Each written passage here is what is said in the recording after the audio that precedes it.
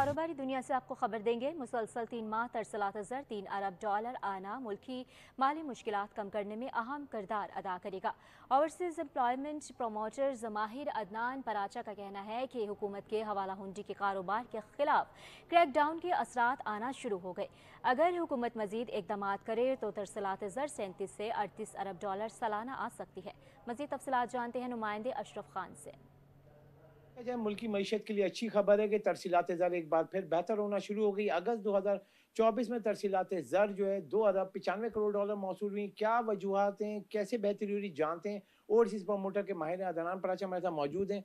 पहले देखा जा रहा था, कमी हो रही थी पिछले साल अगस्त 2023 में। दो अरब नौ करोड़ डॉलर है तब दो अरब पचानवे करोड़ डॉलर क्या वजूहत है? वजूहत इसके अंदर वाजे हैं, जो हमारा जो क्रैक डाउन किया गया था, फेडरल गवर्नमेंट की तरफ़ से, इदारों की तरफ़ से और फेडरल मिनिस्ट्री की तरफ़ से।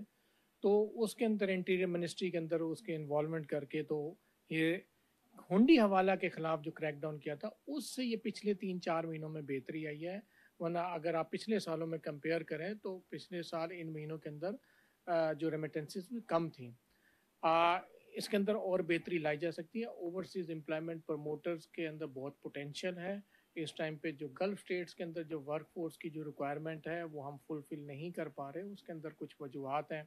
कि हमारे वीज़ा स्टैंपिंग और हमारा यूई का सेक्टर और हमारे जो कतर के सेक्टर के से हमारी जो हमारी फॉरेन मिनिस्ट्री और हमारी जो एचआर मिनिस्ट्री है अगर इस चीज़ पे फोकस करें तो रेमिटेंसेस के अंदर और बेहतरी लाई जा सकती है और अगले फ़िज़िकल ईयर जो 2024-2025 है इसकी क्लोजिंग बहुत अच्छी हम देख सकते हैं। सेक्टर जो मैन पावर के हैं वो हमारा किंगडम ऑफ़ सऊदी अरेबिया है हमारे यूई है कतर है बहरीन है ओमान है।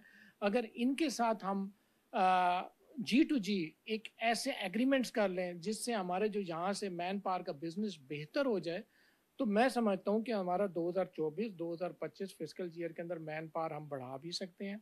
रेमिटेंसेस को सैंतीस से अठतीस अरब डॉलर पे भी ले जा सकते हैं। जैसे देखा गया है कि यहाँ पे अहम तजावीज़ भी दी हैं, जिसमें कहा है कि जो तरसीलात ज़र बेहतर तो हुई है, लेकिन देखा जा रहा है पाकिस्तानी वर्कर्स पिछले साल के मुकाबले इस साल जो है कम जा रहे हैं। बुनियादी वजह यह है कि वीज़े नहीं मिल रहे तो हुकूमत से ये तजवीज़ दी है कि ऐसे इकदाम उठाए जाएँ ताकि पाकिस्तान का जी टू जी मीटिंग हो और यहाँ पर जो ज़्यादा से ज़्यादा वीज़ा मिल सके। जी।